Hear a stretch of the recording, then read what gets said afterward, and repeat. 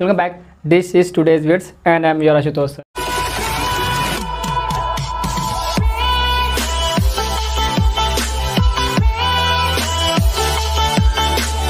इससे पहले कि हम वीडियो में आगे बढ़े, कुछ चीज़ें होती हैं जो मैं हर वीडियो में बोलता हूँ पहली चीज़ आपके पास ये हार्ड कॉपी होना चाहिए मतलब आपके पास ये पन्ने में लिखा होना चाहिए होमेज टू गांधी और नहीं है अगर आपके पास ये तो ये मेरा व्हाट्सअप नंबर है तो मुझे मैसेज करिए, मैं आपको पीडीएफ फ़ाइल में दे दूँगा, फिर आप इसको प्रिंट आउट निकलवा लीजिए, ये पहली चीज़ हो गई। दूसरी चीज़ ईयरफोन लगा लीजिए मोबाइल साइड में सामने रख दीजिए, इसको उठा लीजिए और पेंसिल उठा लीजिए और दिमाग खोल लीजिए।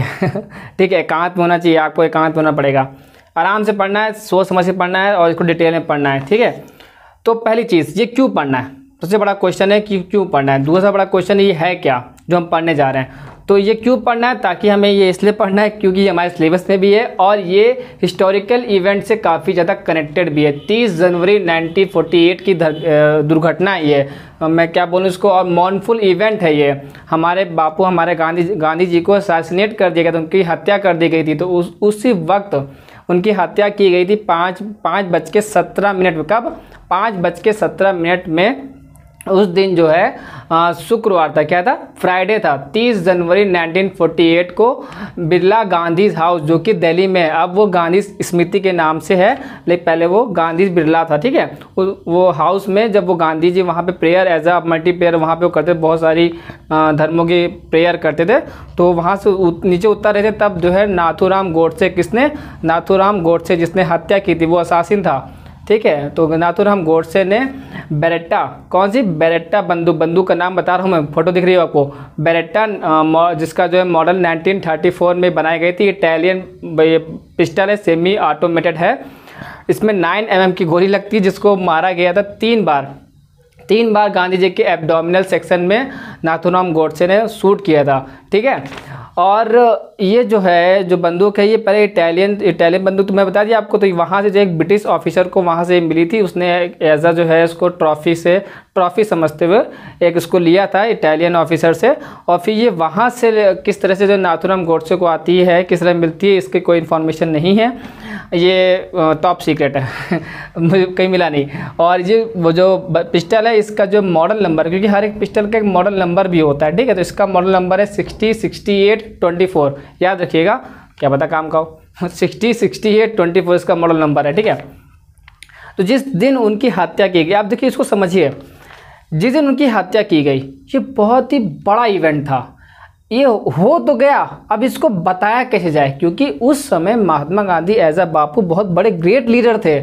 मतलब उनको कुछ हो जाना, पूरे जो इतनी मुश्किल से जो है इंडिया बनाया गया था, इतनी मुश्किल से सारी रियासतें जोड़ी गई थी, इतनी मुश्किल से हमें फ्रीडम मिली थी, सब कुछ बिखर जाता। तो उसको बनाए रखने के लिए ये किस तरीके से बताया जाए न्यूज़ में कैसे बताया जाए? ठीक है, हालाँकि इकतीस जनवरी को, यानी वेरी नेक्स्ट डे सैटरडे को टाइम्स ऑफ़ इंडिया में ये आती है न्यूज़ देखिए, आपको दिख रही होगी। लेकिन उस समय शाम को, अगले पिछले दिन फ्राइडे की रात को, शाम को, किस तरीके से न्यूज़ स्प्रेड की जाए? क्योंकि उस समय रेडियो चलता था। आपको याद रखना कौन सा रेडियो ऑल इंडिया रेडियो उस समय शाम को ऑल इंडिया रेडियो में पंडित जवाहरलाल नेहरू ने ये स्पीच बोली थी एफएम पे विदाउट एनी प्रिपरेशन ठीक है? और इस स्पीच जो हम पढ़ेंगे तो हम ये समझ पाएँगे कि पंडित जवाहरलाल नेहरू जी जो है, ये जानबूझ के स्पीच को ऐसा बोल रहे ताकि कोई कोई जो है दंगा फसाद ना हो, पूरे इंडिया में कोई दंगा फसाद ना हो। बहुत ही सोच समझ के उन्होंने ये एक एक वर्ड चूज़ किया था। बहुत ही सोच समझ के। ठीक है? समझिए उस इवेंट को, जिस समय ये ये घटना हुई थी, अगर अगर किसी, अगर ये ना बोलते इस तरीके से तो क्या क्या हो सकता था? बहुत बड़ा दंगा फसाद हो सकता था पूरे इंडिया में। चलिए मैंने आपको ये इन्फॉर्मेशन दे दी। हालाँकि जो है, तीन दिन बाद सेकेंड फरवरी 1948 को जो है कॉन्स्टिट्यूंट कॉन्स्टिट्यूंट असेंबली में इन्होंने एक और स्पीच दी थी। वो स्पीच इससे ज़्यादा बड़ी थी। वो नहीं पढ़नी वैसे हमें। चलिए होमेज टू गांधी देखिए होमेज माने क्या होता है? पहले तो होमेज टू गांधी गांधी के लिए तो हो गया, लेकिन homage what is the meaning of homage homage मतलब होता है श्रद्धांजलि। क्या होता है? श्रद्धांजलि। जब कोई इंसान की डेथ हो जाती है तो उसके आखिरी मोमेंट में जो उसको हम कुछ वर्ड्स बोलते हैं, उसको हम जो डेडिकेशन देते हैं उससे हम होमेज कहते हैं। ठीक है? चलिए। स्टार्ट करते हैं। मैंने सब कुछ बता दिया आपको।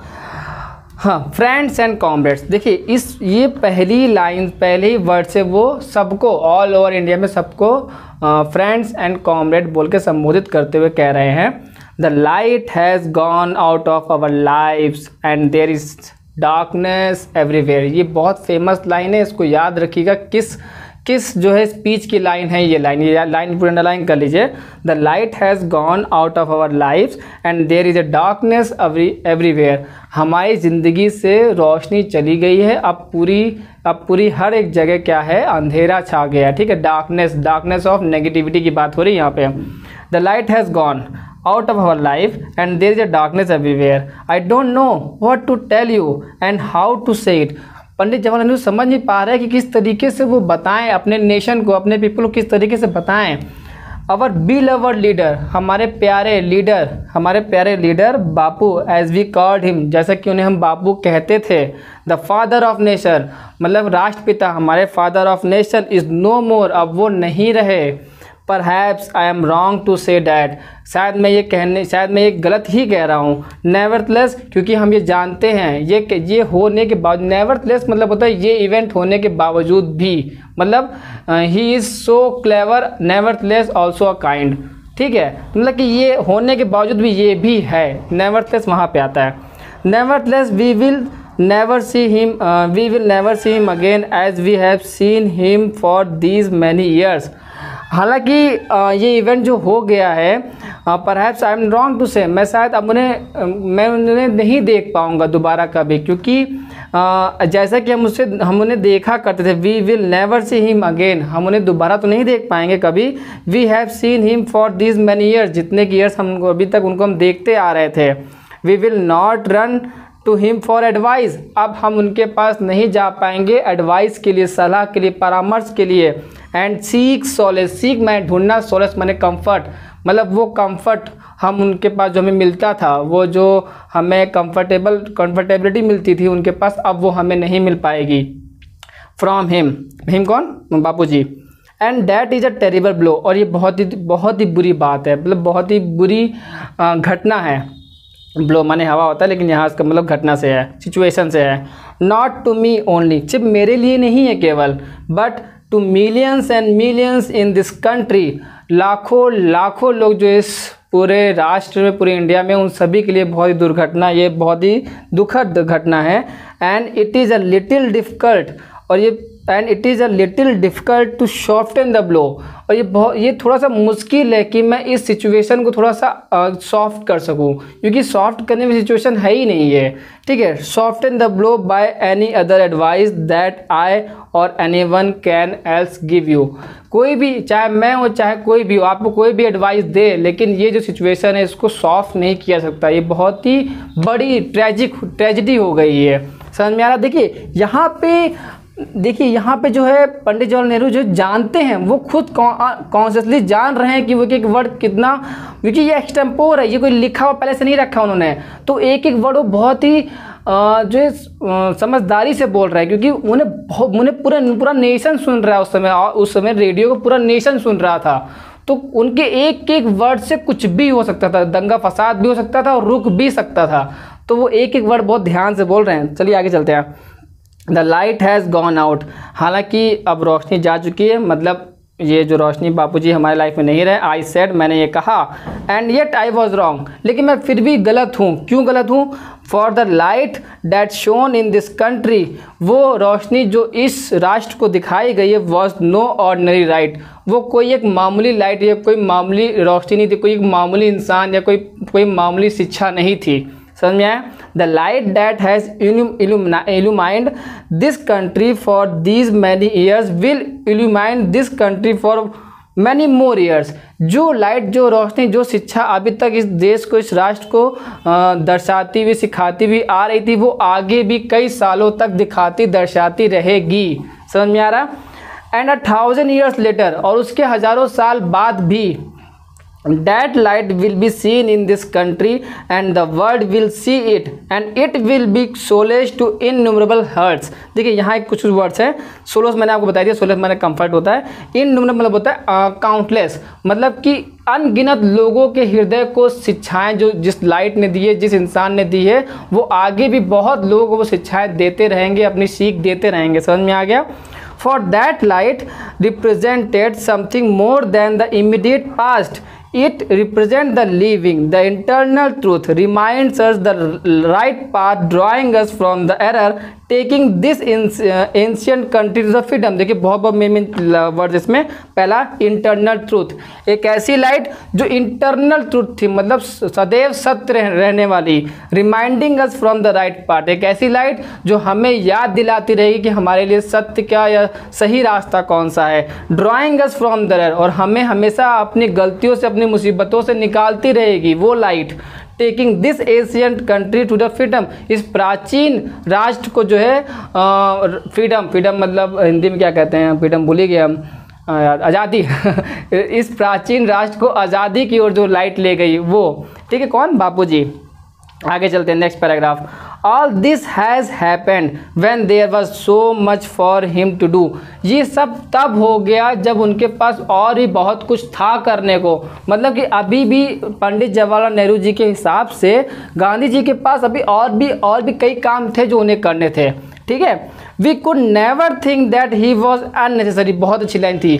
हम ये कभी नहीं सोच सकते थे कि अब उनका रहना ना रहना बेकार है। अननेसेसरी मतलब हमने कभी सोचा ही नहीं था कि वो अब एक अननेसेसरी मैन है हमारे लिए। और that he had done his task और ना ही ये कभी सोचा हमने कि उन्होंने अपना सारा काम कर लिया। मतलब उन्होंने आज़ादी दिला ली, इसका मतलब ये नहीं कि उनका कोई काम ही नहीं रह गया, उनकी हमें कोई ज़रूरत नहीं है। वो अभी भी बहुत सारा उनको काम करना था और हमारे लिए बहुत इंपॉर्टेंट थे वो। बट नाउ लेकिन अब particularly when we are faced with so many difficulties he is not being with us in a blow most terrible to fair. मतलब अब इस वक्त जब वो हमारे साथ नहीं है, इन सभी मुसीबतों को सामना करने के लिए अब वो हमारे साथ नहीं खड़े हैं। He is not being with us is a most terrible to bear ये बहुत ही मतलब मुश्किल है सहन कर पाना इस बात को, इस बात को मान मान पाना, बहुत मुश्किल है। अ मैड मैन देखिए, अभी यहाँ पे देखिए संज्ञा आ रही ना रही कि जो है पंडित जवाहरलाल नेहरू जी ने नाथुराम गोडसे को क्या कहा था? मैड मैन कहा था। अंडरलाइन कर लीजिए मैड मैन कहा था। A mad man has put an into his life एक पागल व्यक्ति ने उनकी ज़िंदगी को ख़त्म कर दिया। For I can only for for I can only call him who call he mad who did, मैं तो केवल उसे पागल कह सकता हूँ जिसने ये किया। And yet there has been enough of poison spread in this country during the past years and month हालाँकि अभी इस राष्ट्र में पिछले एक साल से, पिछले कुछ साल से, महीने से इस पूरे राष्ट्र में एक पॉइजनस एटमॉस्फेयर फैल रहा है। मतलब कि एक तरीके से जातवाद, जो है धर्मवाद पूरा सब कुछ अभी भी जो है डाइवर्जन हुआ था, पाकिस्तान अलग हुआ था तो बहुत ज़्यादा जो है क्या कहता हूँ मैं, दंगा फसाद था बीच में, राष्ट्र को लेकर के और जो है जातिवाद को लेकर के, धर्म को लेकर के, क्योंकि मुस्लिम अभी भी हमारे साथ थे तो अभी उतना ज़्यादा भाईचारा नहीं बन पाया था। ठीक है, समझ में आ रहा? तो वही यहाँ पे कह रहे हैं कि spread in this country during the past years and month month and this poison has had an effect on people's mind और इसी पॉइजन की वजह से यही जो जो है धर्मों के बीच में जो इनक्वलिटी आई है, इसी जो है, इसी की वजह से लोगों का दिमाग अफेक्ट कर गया है। ठीक है? We must face this poison हमें इस पॉइजन को फेस करना ही होगा। ठीक है? इस जहर को सहना ही होगा। We must root out this poison और हमें इससे बाहर निकलना होगा। रूट आउट मतलब बाहर निकलना होगा। And we must face all the perils that encompass us perils मतलब होता है ग्रेट डेंजर पेरिल्स मतलब ग्रेट डेंजर डेंजर मतलब ग्रेट डेंजर ठीक है? तीन ही बार वो एक ही बोला मैंने।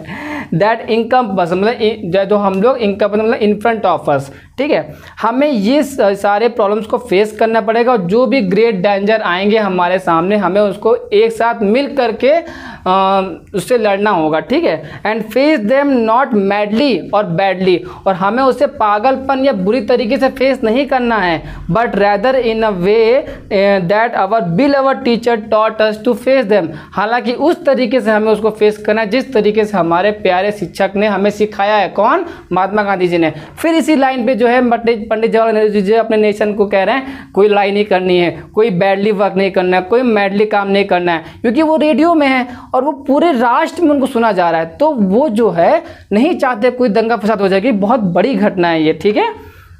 The first thing to remember now is that none of us dare dare misbehave he is angry देखो, यहाँ पे एक वर्ड आ रहा है ही ही यहाँ पे कौन है? अभी फिर से एक लाइन पढ़ते हैं। The first thing to remember पहली चीज़ जो याद रखने वाली है या फिर सोचने वाली है now is that none of us हम में से कोई भी डेयर मिसबिहेव ऐसी हिम्मत नहीं करे करने की मिसबिहेव करने की हिम्मत नहीं करे because he is angry he मतलब कौन? पीपुल ही मतलब यहाँ पे पूरा कॉमन नाउन है कि सबको कोई, सबको बोल रहा है कि कोई भी गुस्सा हो रहा है अगर इस बात से कि हमारे बापूजी छोड़ के हमें चले गए, उनकी हत्या कर दी गई है तो वो कुछ भी मिसबिहेव नहीं करेगा। ठीक है? कोई भी दंगा फसाद नहीं करेगा। We have to behave like strong and determined people हमें एक ऐसा बिहेव करना ही पड़ेगा कि हम एक स्ट्रॉन्ग मज़बूत एंड डिटरमाइंड पीपुल हम एक दृढ़, संकल्पीय मनुष्य हैं इस वक्त, कि हमें जो है अपने राष्ट्र को एक अच्छे दिशा में ले जाना है, ठीक है?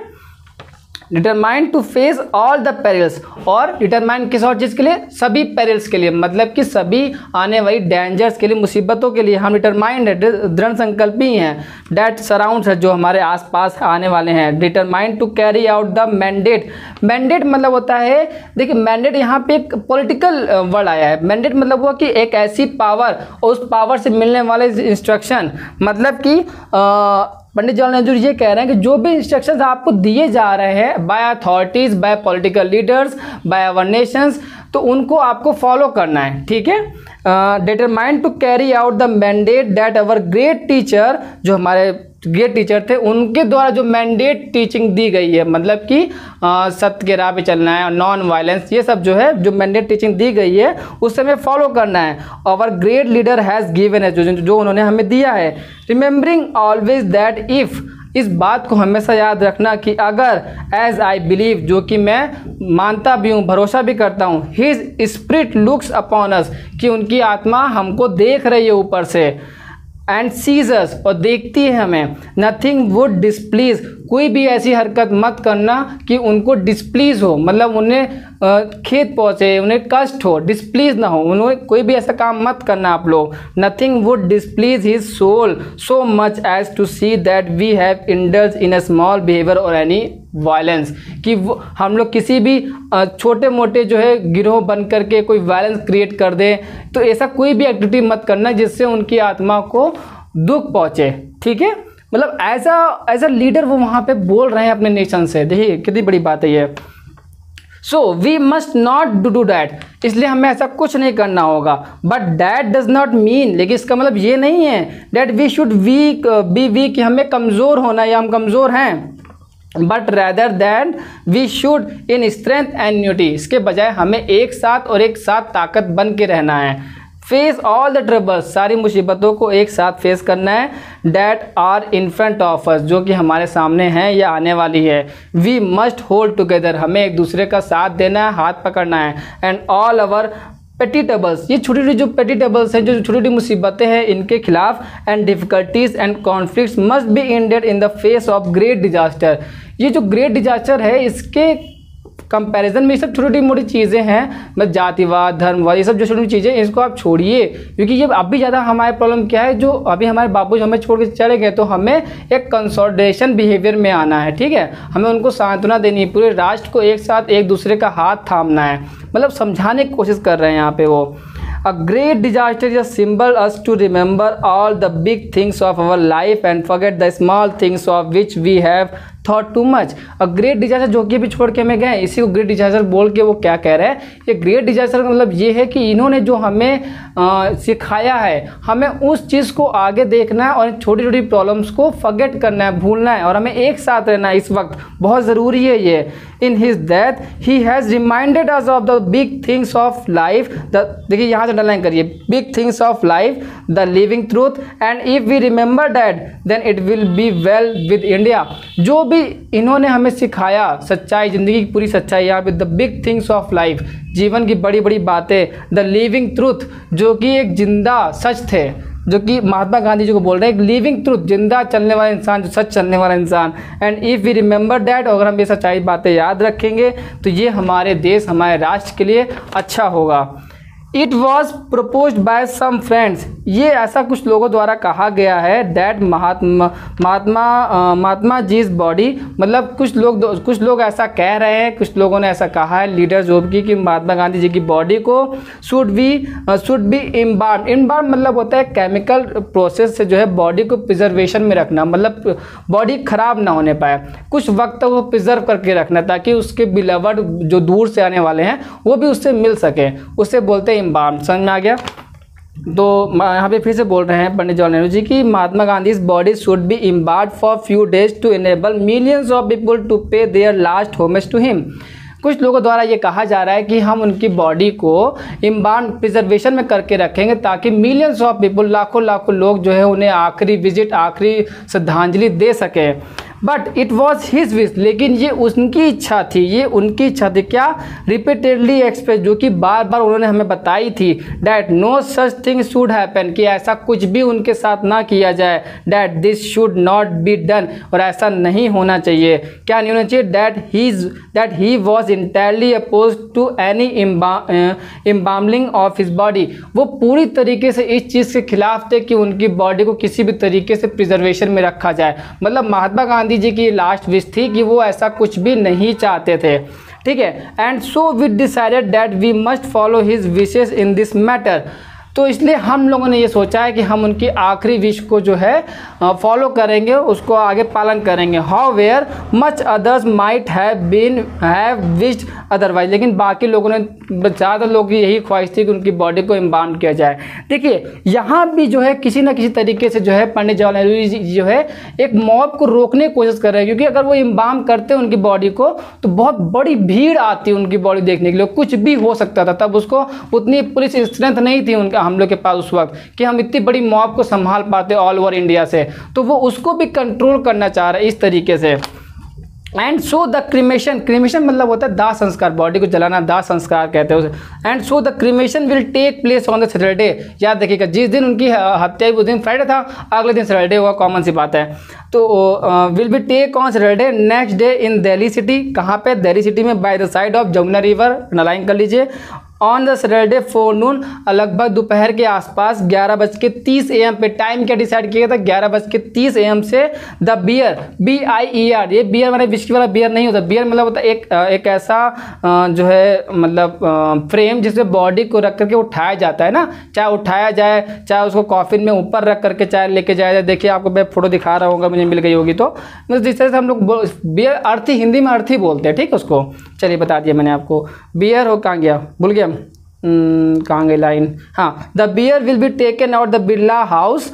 And it will follow a prescribed road और ये जो जब अर्थी निकलेगी तो प्रिस्क्राइब्ड रोड को ही फॉलो करेगी। मतलब जो रोड बताई गई है बाय द पुलिस या बाय द शासन, जिस, जिन्होंने कहा है कि किस तरीके से ये जिस रास्ते को बताया गया, उस रास्ते से ही जाएगी। And go to the Jamuna river और जमुना रिवर में जाके क्रिमेशन प्रोसेस होगा। The cremation will takes place there at about four P और किस समय को रखा गया है? फोर पी शाम को चार बजे का टाइम रखा गया है। The place and the route will be announce by radio on the press और जो भी रूट है, जो भी डिसाइड किया जाएगा बाद में, वो आपको रेडियो द्वारा या फिर न्यूज़पेपर प्रेस द्वारा आपको सूचित कर दिया जाएगा। पीपुल इन दिल्ली जो भी दिल्ली के लोग हैं who wish to pay their last homage जो ये चाहते हैं कि वो आखिरी जो है श्रद्धांजलि देना चाहते हैं should gather along this route वो भी देखो, यहाँ पे भी क्या कह रहे हैं, पंडित जवाहरलाल नेहरू, कि आपको सड़क के बीच में नहीं आना है। आपको सड़क के किनारे किनारे किनारे, जो सड़क अगर जैसे दो रास्ता है तो सड़क के ऐसे किनारे किनारे आप खड़े हो सकते हैं। बीच में मत आइएगा। वो पूरी इंटायरली तरीके से पंडित जवाहरलाल नेहरू पूरी कोशिश कर रहे हैं किस तरीके किसी भी तरीके से भीड़ या मॉब क्रिएट ना होने पाए। बारिश होना शुरू हो गई है पैराग्राफ ख़त्म होने वाला है। जल्दी सुन लीजिए। बंद हो जाए बारिश। ठीक है। कहाँ गया? हाँ। तो along side but rather to go नहीं, कहाँ गया? भूली गई lining. Uh, it will not advise people in Delhi who wish to pay their homage should gather alongside this route. I will not advise to many of them to come the Birla house मैं ये advice ये सलाह नहीं दूँगा कि ज़्यादातर लोग जो है बिरला हाउस आए ऐसा ना करिएगा but rather to gather on both side of this long road from Birla house to Jamuna river आप इसके बजाय क्या कर सकते हैं? आप बिरला हाउस से जमुना रिवर तक के रोड के दोनों तरफ़ जो है आप एक अलॉन्ग साइड जो है खड़े हो सकते हैं अपनी अपनी संधाजी देने के लिए। ठीक है? ये किसको किसके लिए कह रहे हैं? वो दिल्ली के पीपल के लिए कह रहे हैं, जो दिल्ली में लोग रह रहे हैं इस वक्त, ठीक है? मतलब उस वक्त रह रहे थे जो। एंड एंड आई ट्रस्ट और मैं ये भरोसा करता हूँ that they will be remain there is silence without any demonstration कि मैं भरोसा करता हूँ कि सभी लोग शांति से जो है अपना अपना कंसल्टेशन देंगे, ठीक है? और कोई भी किसी भी तरह का डिमॉन्स्ट्रेशन नहीं करेगा। कोई भी किसी तरह का दंगा फसाद जो कुछ भी दर्शाएगा नहीं, किसी भी तरह का एंग्रीली मूवमेंट नहीं करेगा, ठीक है? That is the best way and the most fitting way to pay homage to great soul ये एक सबसे बेस्ट तरीका है अब हमारे जो है बापू जी को एक होमेज देने का, ठीक है? Also Saturday should be a day of fasting और साथ ही साथ सैटरडे का जो दिन होगा, वो फास्टिंग का दिन भी होगा। मतलब हम लोग उपवास, सब लोग उपवास रखेंगे उस दिन। And prayer for all of us और हम सब लोग प्रे करेंगे अपने बापू जी के लिए। दोज हु लिव एल्सवेयर जो और कहीं रहते हैं मतलब दिल्ली के अलावा किसी और स्टेट में रहते हैं, उनके लिए आप बोल रहे हैं कि out of the Delhi and in other parts of India will no doubt take such part such such part as they can in the last homage homage हालाँकि वो लोग तो नहीं आ सकते हैं दिल्ली में होमेज में पार्टिसिपेशन करने के लिए तो वो और क्या कर सकते हैं? उनके लिए बोल रहे हैं फॉर देम ऑल्सो कि उनके लिए भी let in the other parts of India will नहीं for them also let this be a day of fasting and prayer उन लोगों के लिए ये दिन एक फास्टिंग का और एक प्रेयर का मतलब जो लोग अदर स्टेट्स में हैं, वो सब लोग अपने अपनी जगह पे रह करके फास्ट करेंगे और प्रेयर करेंगे, ठीक है?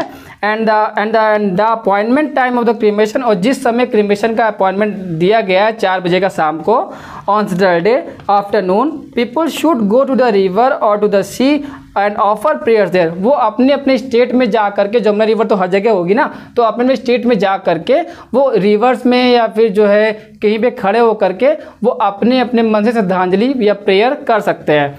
ठीक है?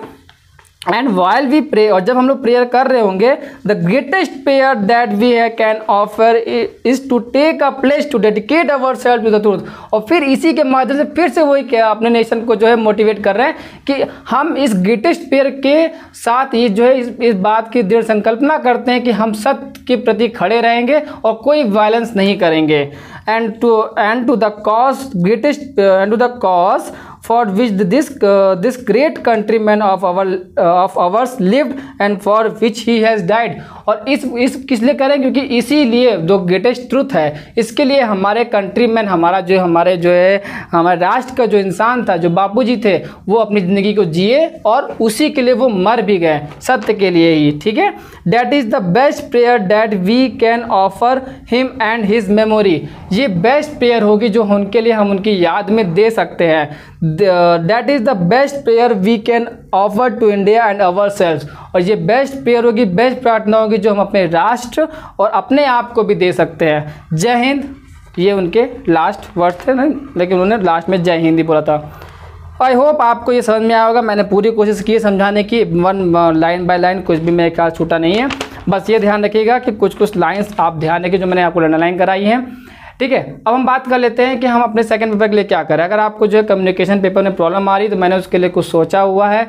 मैं कुछ पीडीएफ दे दूँगा व्हाट्सएप पे, जिसमें आपका प्रिंट मीडिया तैयार हो जाएगा और रेडियो तैयार हो जाएगा और टेलीविज़न तैयार हो जाएगा। मेरे पास तीन पीडीएफ है, मैंने सोचा है उसको देने के लिए आपको, ठीक है? मैं भी उसी से पढ़ रहा हूँ। तो अगर आपको वो चाहिए तो आप व्हाट्सएप मुझे मैसेज करिए और आप मुझसे वो पीडीएफ ले लीजिए और अपना कम्युनिकेशन का पेपर तैयार कर लीजिए, ठीक है? This is all from today keep studying and अगर आपको ये चैनल अच्छा लगे तो आपको पता है आपको क्या करना है। वीडियो जो है, ज़रूर शेयर कर दीजिए, ताकि जो है, सब लोग इस प्लेस को पढ़ सकें। ठीक है this is very important keep watching this channel keep studying tata